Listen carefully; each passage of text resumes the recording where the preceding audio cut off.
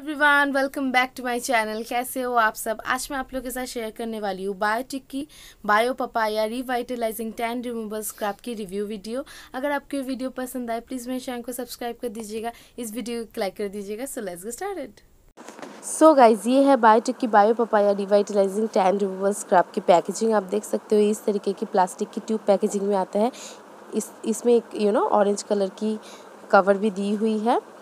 और इसमें एक और पैकेजिंग भी आता है एक डब्बा टाइप्स का यू नो उसकी प्राइस है one seven one fifty rupees लेकिन इसकी प्राइस सिर्फ़ और सिर्फ़ सेवेंटी फाइव रुपीज़ है।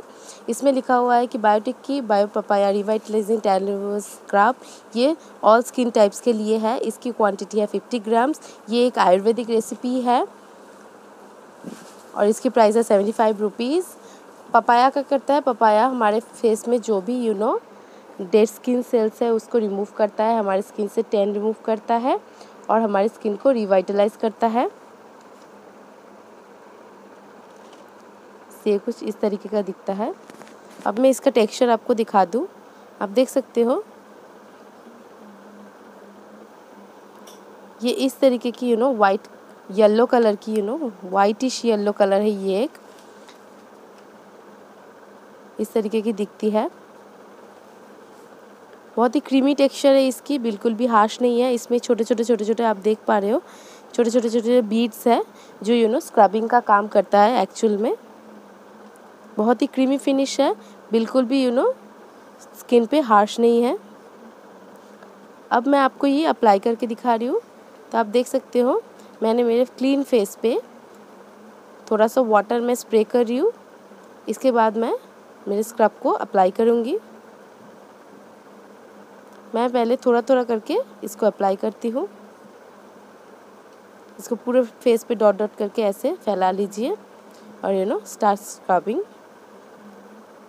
पूरे फेस पे यू नो पाँच से छः मिनट तक आप इसको मसाज कीजिए। बहुत ही जेंटली मसाज कीजिएगा, नहीं तो यू नो स्किन पे यू नो हार्श हो सकता है।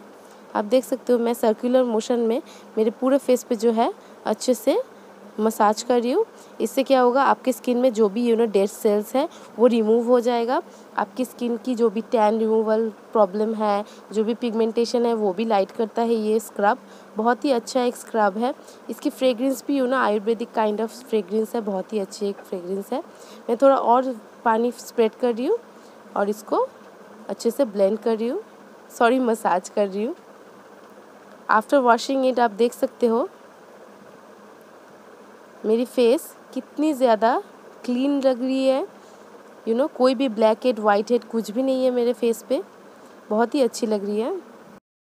ये जो स्क्रब है ये आपके यू you नो know, जो जो भी सन टैन है उसको रिमूव करता है आपके स्किन को एक्सफोलिएट करता है बहुत ही नाइसली इसके जो पार्टिकल्स हैं इसके दाने जो है बहुत ही यू नो अच्छी तरीके से बिल्कुल भी हार्श नहीं है आपके स्किन पे। थोड़ी सा हार्श है लेकिन यू नो ज़्यादा हार्श नहीं है।